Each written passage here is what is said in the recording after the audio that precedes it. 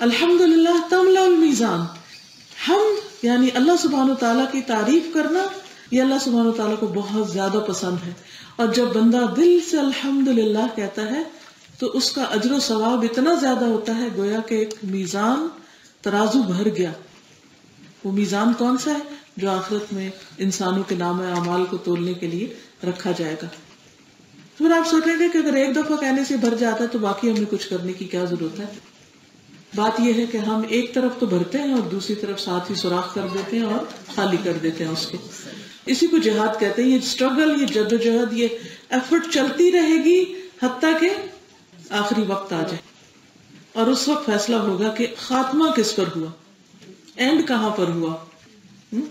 और अगर उस वक्त इंसान के पलड़े भारी है और वो अल्लाह का शुक्र अदा करते हुए दुनिया से गया, अल्हम्दुलिल्लाह कहते, ला इलाहा इल्लल्लाह कहते तो पार लग गया। और जहाँ तक मीजान का ताल्लुक है तो इस पर ईमान लाना भी ज़रूरी है। आखिरत पर ईमान का हिस्सा है ये। कुरान मजीद में आता है लियौमिल क़ियामती, फला तुज़लमु नफ्सुन शैआ व इन कान मिथक़ाल खरदलिन अतैना बिहा, व कफा बिना हासिबीन और हम क़यामत के दिन ऐसे तराजू रखेंगे, जो एन इंसाफ वाले होंगे। यानी अल्लाह के स्केल जो हैं, उनमें किसी किस्म की कोई ज्यादती नहीं होगी, कोई नाइंसाफी नहीं होगी। बिल्कुल पूरा जस्टिस होगा, जिसका कोई दुनिया में तस्वुर भी नहीं कर सकता। फरमाया, फिर किसी शख्स पर कुछ जुल्म ना किया जाएगा, और अगर एक राई के दाने के बराबर मस्टर्ड का एक दाना, एक छोटा सा सीड उसके बराबर भी किसी का कोई अच्छा अमल होगा तो हम उसे सामने ले आएँगे। वो भी सामने आएगा, मीजान के अंदर रखा जाएगा वो। अगर जैसे होता है ना, बाजू कोई चीज़ तोल रहे होते कोई बाहर गिर जाती तो बाहर नहीं गिरने दी जाएगी, वो भी अंदर ही रखा जाएगा और उसको भी तोला जाएगा। इतनी डिटेल के साथ अल्लाह सुबहान ताला जस्टिस करेंगे। और हम हिसाब लेने वाले काफ़ी हैं। यानी सारे बंदों का हिसाब बेहद वक्त अल्लाह ताला ले लेंगे। फिर इसी तरह यह है कि यह कितना बड़ा होगा तराजू, कितना बड़ा स्केल है, इसके बारे में हमें एक हदीस से पता चलता है। रसूलुल्लाह सल्लल्लाहु अलैहि वसल्लम ने फरमाया, क़यामत के दिन बहुत बड़े स्केल्स रखे जाएँगे, तराजू रखे जाएँगे, कि उनमें ज़मीन और आसमान का भी वज़न किया जा सके। वो भी उसमें रखे जा सकते इतने बड़े स्केल्स हैं। फरिश्ते पूछेंगे, ये तराजू किसके लिए वज़न करेंगे? इन स्केल्स में क्या तोला जाएगा? इतने बड़े, इतने ह्यूज अल्लाह ताला फरमाएँगे, मैं अपनी खलकत में से जिसके लिए चाहूँगा, फरिश्ते कहेंगे सुबहान कमा अबदना का हक इबादत ए अल्लाह, तू पाक है। हम तेरी इबादत वैसी ना कर सके जैसा करने का हक था ये फरिश्ते बोलेंगे। जो दिन रात अल्लाह की इबादत करते, कभी गुनाह नहीं करते। वो कहेंगे अल्लाह, हमने तेरी इबादत का हक अदा नहीं किया। तो हम सब अपने बारे में सोचें कि हम टूटी फूटी इबादत करके ही खुश हो जाते हैं। हकीकत ये कि हम भी इबादत का हक अदा नहीं कर सकते। कुछ भी हम कर ले तो हमेशा हमारे अंदर एक आजजी रहनी चाहिए कि यार अब हमने तेरा हक अदा नहीं किया। तो हमें कुछ करने की तोफीक अता फरमा। तो ये इतने बड़े मीजान जो है, इतने बड़े तराजू जो है, बाजुकत इनके अंदर एक छोटी सी चीज़ रख दी जाए तो ये उसको भर देते हैं।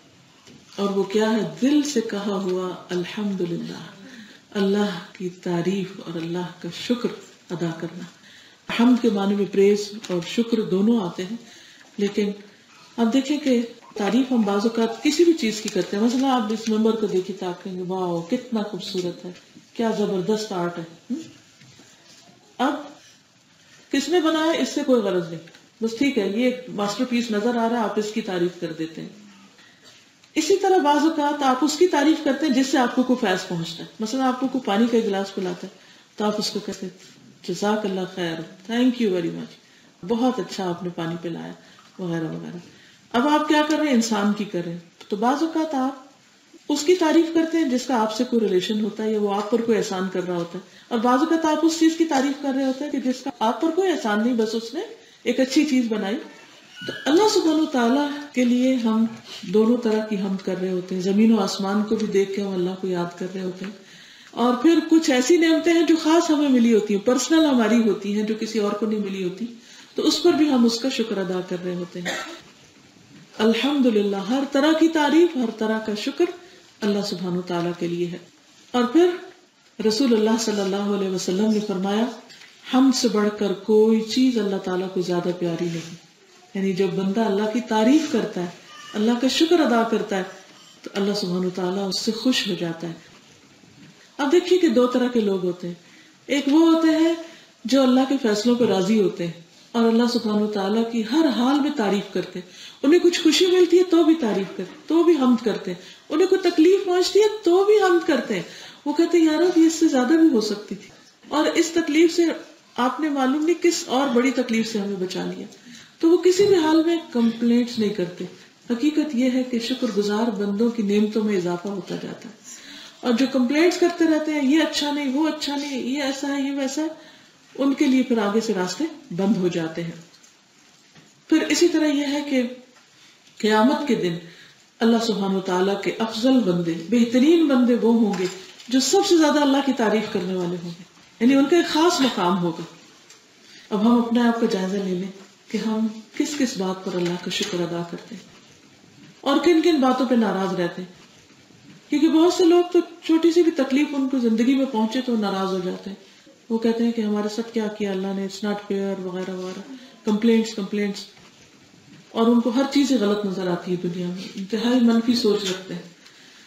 हालाँकि वो ऐसा करके अल्लाह ताला का कुछ भी नहीं बिगाड़ सकते।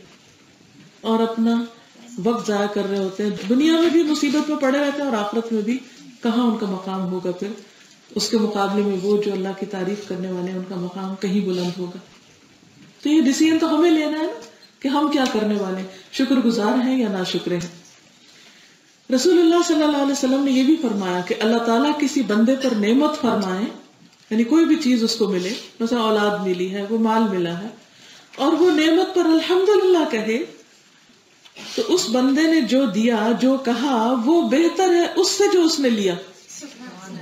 यानी आपको मसलन एक मिलियन पाउंड मिल गए और आपने उस पर अल्हम्दुलिल्लाह कहा ये आपका जो वर्ड अल्हम्दुलिल्लाह उस मिलियन पाउंड से ज़्यादा वर्थ है।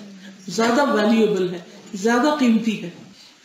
यानी अल्लाह ताला की शान देखिए कि वो अपने बंदे की किस कदर कदर फरमाते उससे कितनी मोहब्बत करते हैं कि वो एक छोटा सा भी ऐसा जुमला बोलता है कि जिसमें शुक्र गुजारी अप्रिसिएशन है तो वो उससे राज़ी हो जाता है। अल्लाह ताला को राज़ी करना कुछ मुश्किल नहीं। लेकिन ये हम पर है। कि हम कितने शुक्रगुजार बंदे बनते हैं।